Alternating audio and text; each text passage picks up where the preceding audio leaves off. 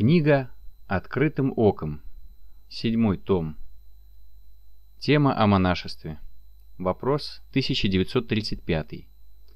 Чем могли монахи доказать, что само монашество установлено Христом? Ответ Игнатия Тихоновича Лапкина. Постепенно многие уверовали, что есть как бы некое неписанное Евангелие, которое открыто только монахам. Это в чистом виде гностицизм, пустынный. Часто они свои мысли приписывали, как харизматы, как все пятидесятники сегодня, только Духу Святому. Иеремия, 23 глава, 21 стих.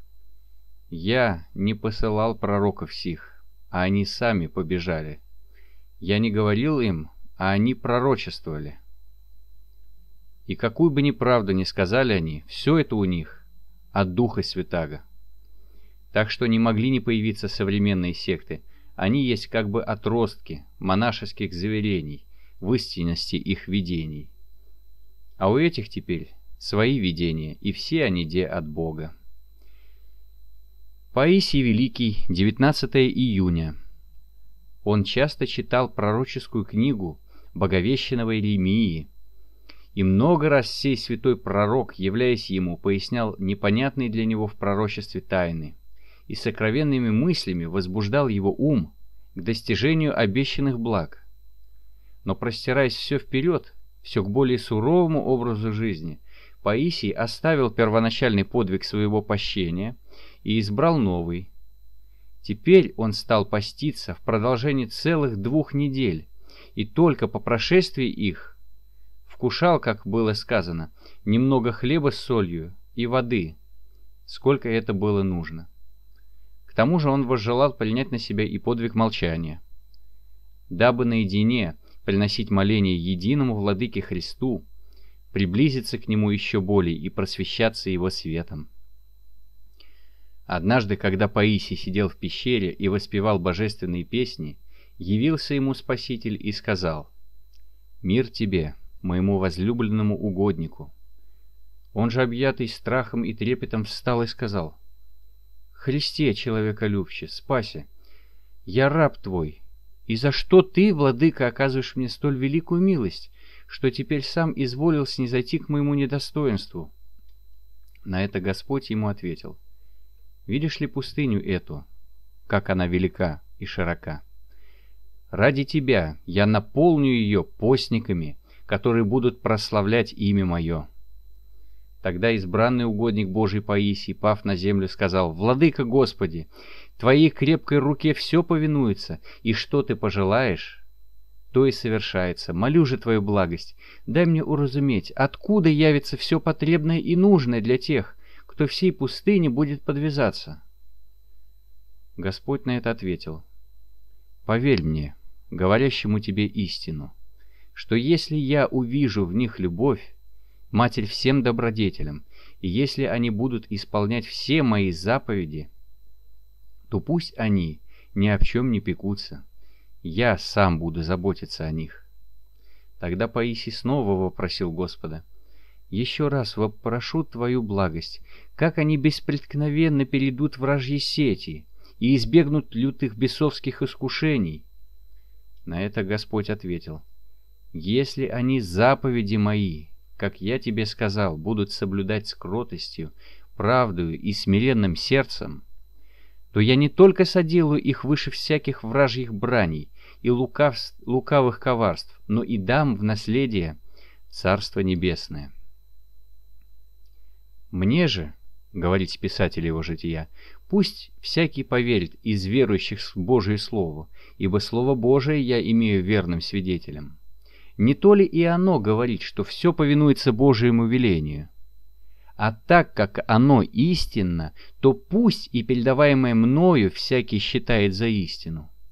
По причащении божественных таинств тела и крови Христовых преподобный Паисий иногда оставался бестелесной, бестелесной пищей 70 дней.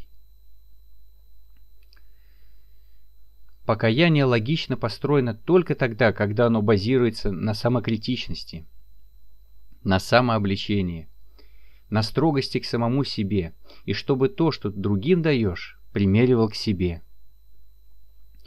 Не пользоваться двойным стандартом.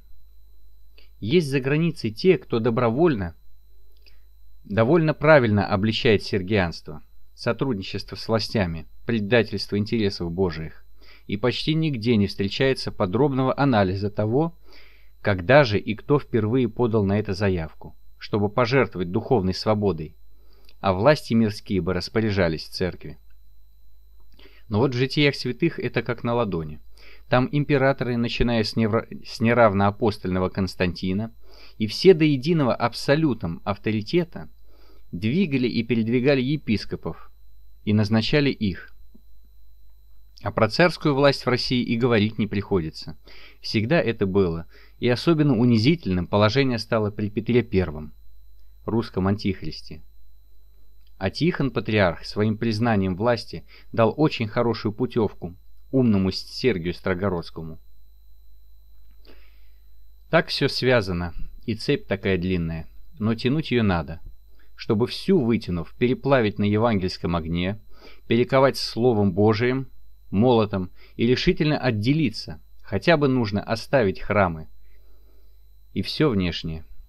Свобода во Христе того стоит но уже никогда пленница не выйдет. Мир ее держит крепко за руку, и церковь обмерщенная свыклась с ролью прелюбодейцы, чтобы восседать на мировом звере. Матфея, 23 глава, 4 стих. Связывают бремена тяжелые и неудобоносимые и возлагают на плечи людям, а сами не хотят и перстом двинуть их. Власть о, как сладка и опасна! В духовном и мирском предназначении. Не может быть святой, все это басни, иначе участь у нее плачевна. Под куколь патриаршей столько муки натянет к вечеру таких переживаний. Для мироварника достаточно и мухи, чтобы зловоние не отмыть и в бане. Всегда найдется крепче и умней, и не один, а с думой, с комитетом примерить то, чем почует свиней на шее главного, а то и пистолетом. Власть захватить, а позже удержать. В наследство отпрыску и внукам легитимно. Но снова заговор, и с росчерком ножа карабкается лысый Чикатило. Духовное владычество опасней, страшней, смертельней, нежели мирское. Да превратится в щуку дохленький карасик, как волк и ястреб более раскован.